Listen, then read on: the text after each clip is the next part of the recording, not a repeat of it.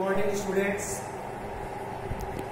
आज से पहले जितने भी मैंने लेक्चर दिए हैं, उनमें मैंने राजनीति शास्त्र के अर्थ, प्रकृति और क्षेत्र और परिभाषाओं की बात की है। आज हम इसमें परंपरागत राजनीति शास्त्र की विशेषताओं का अध्ययन करेंगे। अब हमारे पास में इतना आधार तैयार हो चुका है कि हम ये जान सकते हैं कि परंपरागत राजनीति शास्त्र की क्या विशेषताएँ हैं। दो प्रकार के दृष्टिकोण रहे थे, मैंने चर्चा की थी। एक परंपरागत दृष्टिकोण और दूसरा आधुनिक दृष्टिकोण।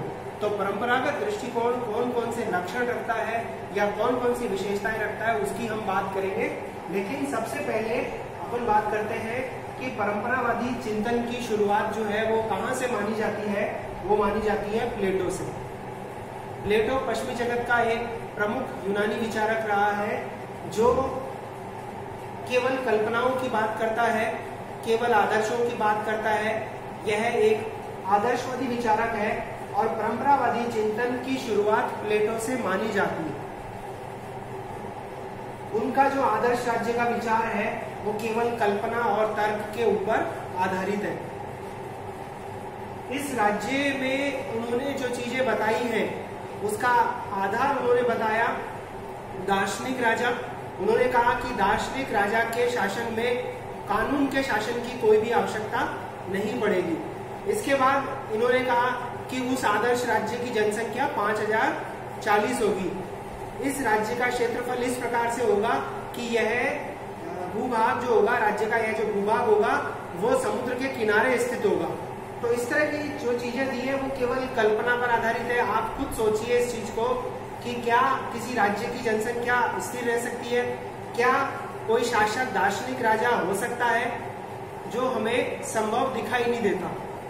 दूसरी बात हम यहाँ इसमें करते हैं कि रोमन विचारकों में सिसरो का नाम आता है। इसके अलावा मध्य युग में संत ऑगस्टोइन और एक्विनास का नाम आता है, जिन्होंने परंपरावादी चिंतन को आगे बढ़ाया है। तो प्लेटो से शुरू करके रोमन विचारक सिसरो का नाम आता है।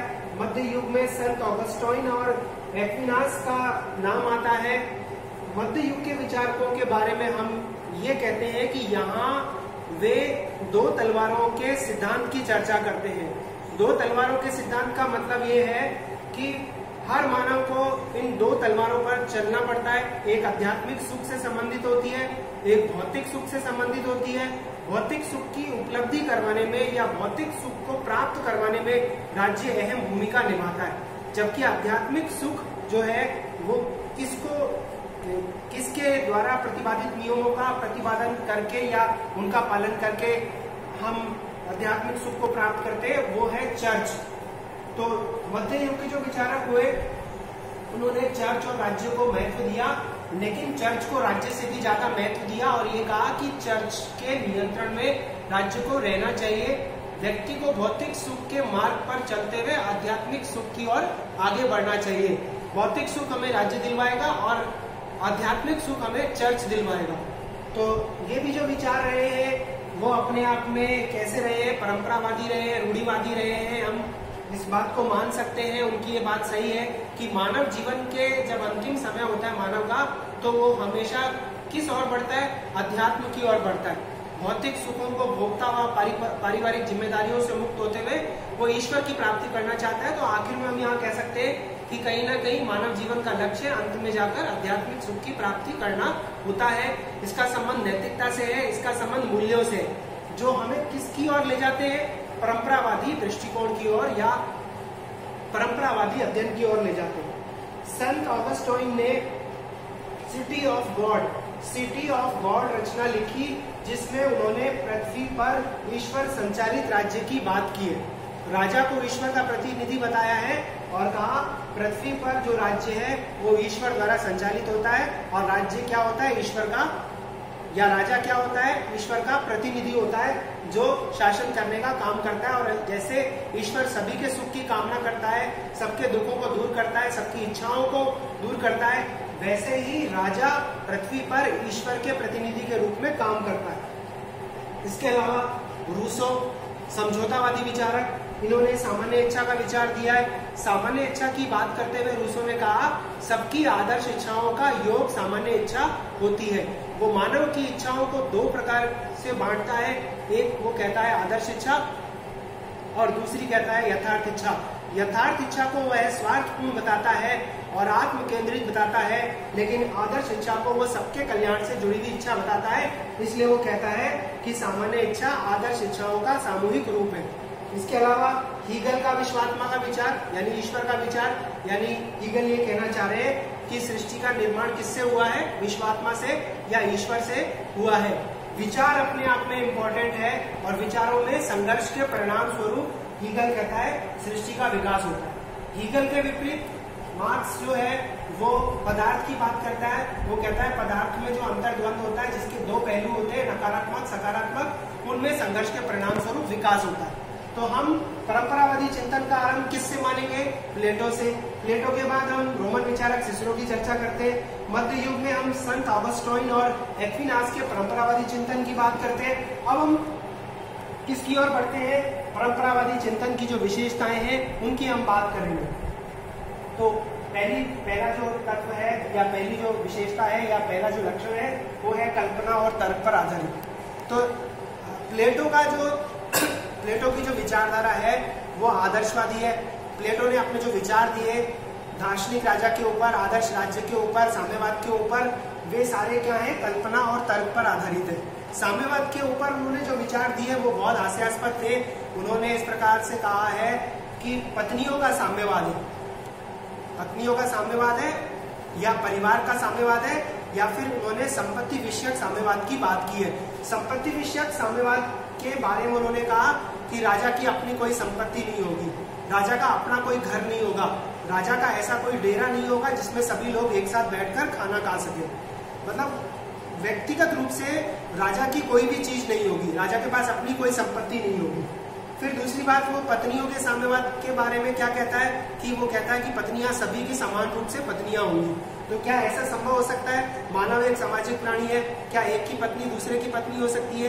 क्या एक के बच्चे दूसरे के बच्चे हो सकते हैं? वो इतनी सी बात कहता है, इसमें कल्पना करते हुए कि एक एक अच्छा व्यक्ति जो है, एक अच्छे, एक अच्छा नर, एक अच्छी माता के साथ संपर्क करके राज्य के लिए संतानों की उत्पत्ति करता है। यानी स्त्री को केवल संतान प्राप्ति का एक साधन बताया जो अपने आप में पूरी तरह से काल्पनिक है और वो कहता है कि आदर्श राज्य का जो दार्शनिक शासक है उसको इस सिद्धांत का पालन करना पड़ेगा, संपत्ति विषयक साम्यवाद का भी पालन करना पड़ेगा और परिवार या पत्नी विषयक साम्यवाद का भी पालन करना पड़ेगा।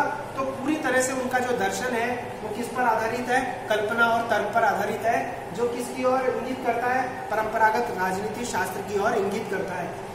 नैतिकता और मूल्यों पर बल दिया गया। जैसे अपन ने जब राजनीति शास्त्र की प्रकृति की बात की थी तो अपने कहा था कि राजनीति शास्त्र एक विज्ञान है। फिर हमने पढ़ा कि राजनीति शास्त्र विज्ञान नहीं है। हमने इसकी कल्पना किसके रूप में करी? कला के रूप में करी। तो अगर हम कला मानते हैं तो उसमें किसका महत्व होगा? नैतिकता का और मानवता से जुड़े हुए मूल्यों का।